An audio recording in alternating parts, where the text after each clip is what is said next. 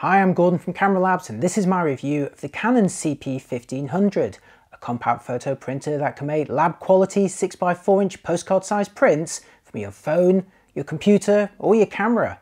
And yes, you can also use it to make passport ID photos. Announced in summer 2022 is the successor to the best-selling CP1300. It's available in black, white or pink and costs around $140 or pounds. In this video, I'll show you what's new, how it works, and find out whether it's worth buying. I'll start with media and running costs. The CP1500, like its predecessors, is not an inkjet printer and you cannot use your own ink or paper with it.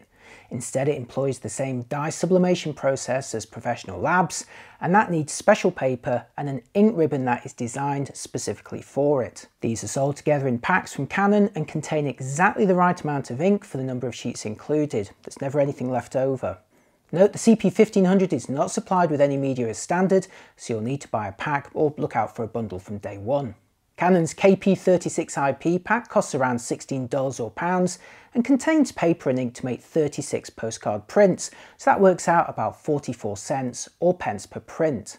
Meanwhile, the RP108 pack costs around $35 or pounds, has enough paper and ink to make 108 postcard prints, and that works out around 32 cents or pence per print. So even when you buy the media in bulk, it's going to work out more expensive than most high street labs or online printing services, but of course it gives you the convenience of printing whenever you like without delay, and even wherever you like too if you buy the optional rechargeable battery pack, although this actually costs a little more than the printer itself, so therefore more than doubling the overall cost. Like earlier models, the 6x4 inch or 148 by 100 mm size is the biggest you can print. Although this is officially known as postcard size, it's not postcard thickness. The paper itself is really too thin to write on the back and directly mail, and in the absence of a sticky back, you'd ideally glue it onto a card or stick it in an envelope if you want to post it.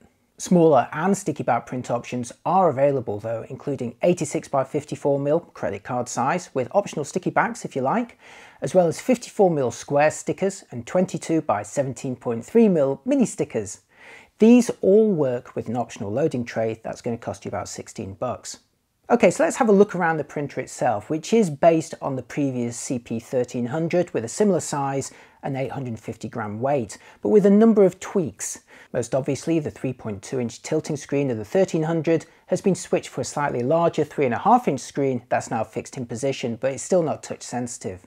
Navigation is still performed by a four-way pad with no K button in the middle, but the buttons around it have been greatly simplified from 8 on the early model to just 3 here. As before, the ink cassette is inserted into a compartment on the right side, while the flap on the front folds down to accommodate the paper cassette. This slots in for use, but can be removed and flipped shut for storage or transportation. With the flap on the front of the printer open, you'll notice an SD slot in the top left corner for directly inserting a memory card, while a single USB-C port on the left-hand side allows you to connect a card reader for other formats or USB storage. You can also connect the printer directly to a computer over USB or to compatible phones and cameras, although most people will probably prefer to use a wireless connection with their phone. I'll show you that in just a moment. Round the back is a socket for the supplied AC mains adapter, along with a removable panel to connect the optional rechargeable battery pack.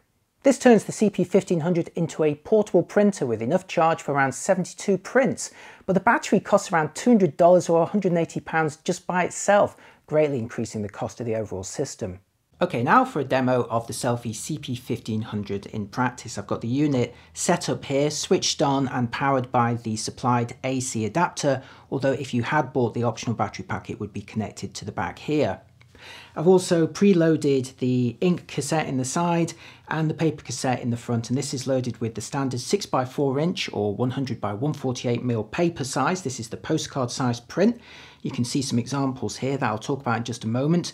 But before I do that, I'm going to actually get a print coming out of the machine right now. And the easiest way to do that is by inserting a memory card. Now there's a slot in the front for standard SD memory, so that's what I'm going to go for right now.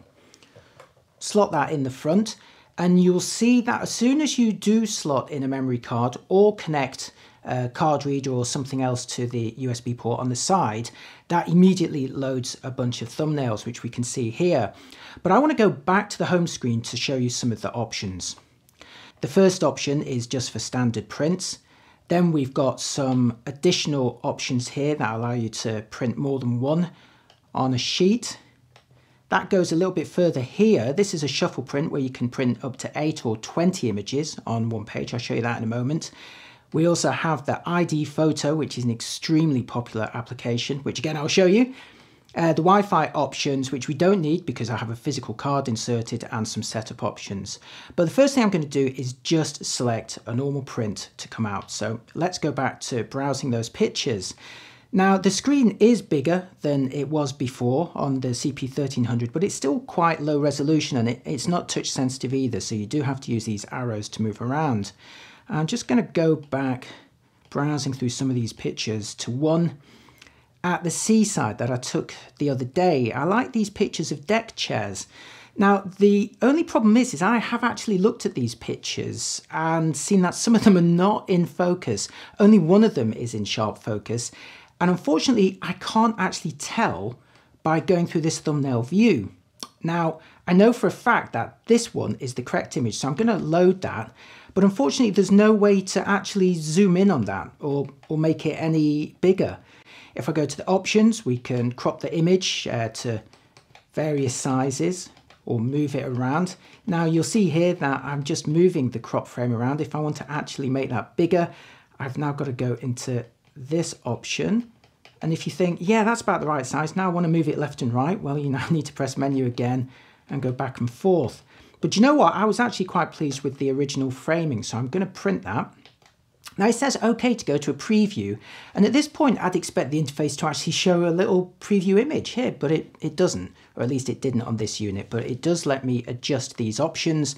I've got the postcard size, I've got a glossy finish, we can uh, adjust that if we prefer to a semi-gloss or satin look. I'm going to go for glossy.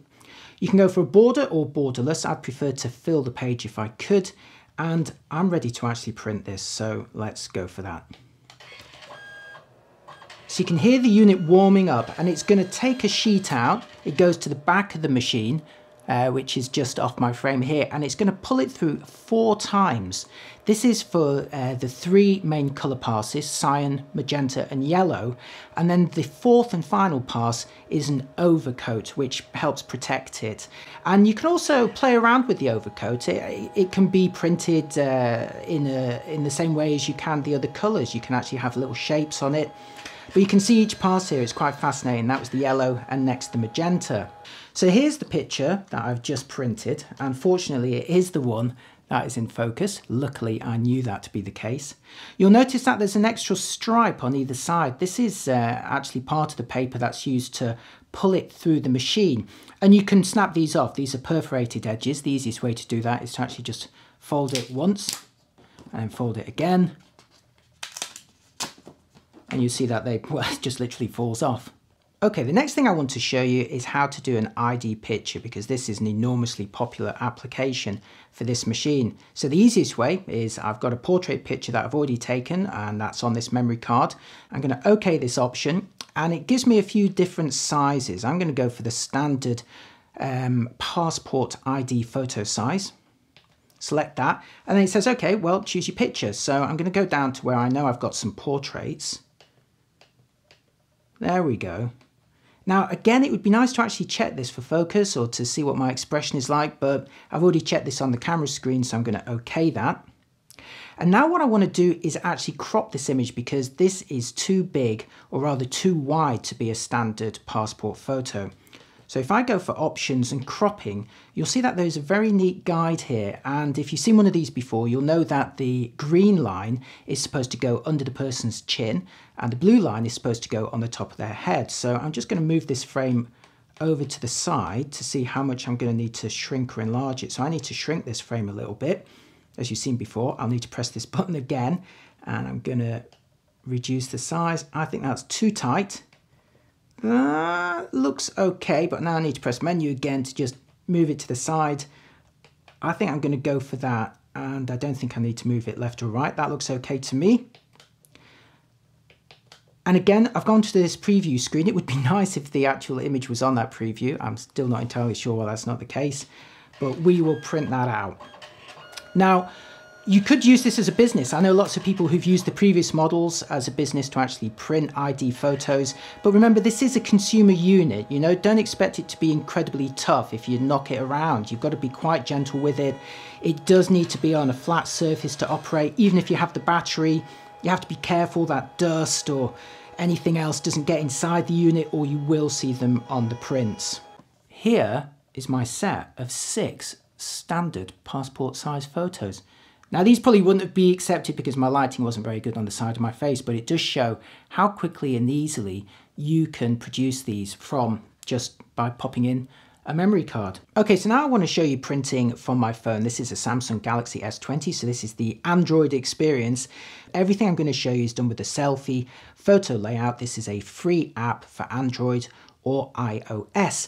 You can select any image that you've got on your phone. These could be pictures that you've taken with your phone, copied onto your phone or downloaded from anywhere at all. And you can also uh, just print the single frames, you could print various layouts. We've got the bookmarks, the shuffle, um, the ID photo that you'd uh, seen earlier. So this is pretty simple stuff. Here we can go into the options. We've got the different sizes, the different uh, glossy finishes and whether you want the image to be optimized before printing. And this is where you can actually browse some of your images. Okay, so let's have a look at the options that are available. I can apply a border, change the color of that border, print a date. I can also adjust the overcoats. Now this is the shiny finish that goes over at the end of the print. And I can actually use it for selective printing. So instead of going over the whole image, I could actually draw a, a starburst or some snowflakes or love hearts. So that's quite a fun option if you desire. We can also print on as well as the date. You could have various icons, text, freehand drawing, a QR code, which I'll show you in just a moment, or other enhancements. But I'm just going to print this directly to show you how easy it is on the Wi-Fi. So if I go print, it's now going to try and find the printer. Now, this is actually creating its own Wi-Fi network between the phone and the printer. This is not going via my home Wi-Fi or any office Wi-Fi. This has gone directly from the phone to the printer. It's called an ad hoc network and there was nothing else to do. Now, initially when I first turned on the printer, it did want me to effectively connect the two devices together and it did that by displaying a QR code on the screen. So all I had to do was start up the app, point it at the QR code and it automatically got all of the Wi-Fi settings to do this so that in the future it would be as quick and easy as this process. So here's the final print next to the image on my phone. Okay, so let's have a look at the QR code option in practice. And I'm going to add a QR code, which in this case could be to invite you to RSVP or maybe to go to some various wedding services. And here's the QR code. I'm just going to pop it in the corner. We can change the size of it. That's small at the moment. You can go medium, large, extra large. That's a bit excessive, isn't it? While this is printing, I also wanted to show you what the black and white quality is like. Here's a picture which I took in black and white using, again, the Fujifilm X100V. If you like my pictures with the X100V, do check out my Instagram at Camera Labs because I've got loads of them on there. And this was taken with that Acros film simulation, which is a high contrast black and white. So this is what happens when you feed a black and white image directly to the printer. And I'd say that looks quite nice. Sometimes black and white pictures can look a little bit muddy when they're printed on a color device, but that looks all right to me. And my QR code picture has finished. So I dare you to scan that and check it out. Hope you'll enjoy what I've got for you there. And the last thing I want to show you is what it would look like if you want to print lots of pictures on one page. So again, I'm going to choose the format here. I'm going to choose eight pictures rather than 20 because I want to get this finished today. I'm going to have this one, this one, uh, that one, that one, that one, that one, that one, and one more. Oh, a nice cheese sandwich. How about that? And the app is going to go away and, and suggest this, this kind of random order. And you know what? I love it. So let's have that printing out here. And here it is, a shuffle print made with those eight images which I had stored on my phone. Canon CP1500 updates one of their most popular photo printers, making it a little bit quicker to print and certainly easier to use while retaining the core capability of outputting lab quality postcard sized prints from a variety of sources including phones, computers and SD memory cards, all from the comfort and convenience of your home. The running cost of around 30 to 50 cents or pence per print makes it more expensive than most high street labs or online printing services. But like its predecessors, again, you have the convenience of printing at home whenever you like, or indeed anywhere you like if you do buy that optional battery pack, although this will more than double the initial cost. The print quality is on the whole very good, roughly matching most high street labs and a step up from inkjets, and the ability to easily make passport ID photos is a potential business within itself. Like earlier models, you may occasionally notice a faint vertical line on some of your prints, but this can normally be resolved by reloading or changing the paper. The CP1500 is also happiest operating on a flat surface, making it more of a transportable printer rather than a truly portable one. If you're looking to walk around with a printer, say at an event, well, handing out prints to people, then you're going to be better served by one of the many Instax portable printers, which can operate at any angle, even in a bag or a pocket if you like, and they already include rechargeable batteries as standard. But while the largest Instax prints come from the most recent wide model, they remain smaller and more expensive than the postcard size from the Canon CP1500. Ultimately, the CP1500, like the earlier models, is a fun and genuinely useful printer to have around your home, not to mention some businesses. It'll produce great looking photo prints easily, and unlike inkjet printers, it won't suffer from clogged nozzles if you leave it for a while. It's not as robust or truly portable like an Instax printer, but the prints are larger and cheaper. As long as you understand the limitations, I can recommend it. I hope you found that useful. If you do, I'd love it if you'd consider liking the video and maybe even subscribing to my channel for more photo gear reviews. Or if you're feeling extra generous, I'm always up for a coffee and there's links for that and the best prices on the printer in the description. Thanks for watching and I'll see you next time. Bye.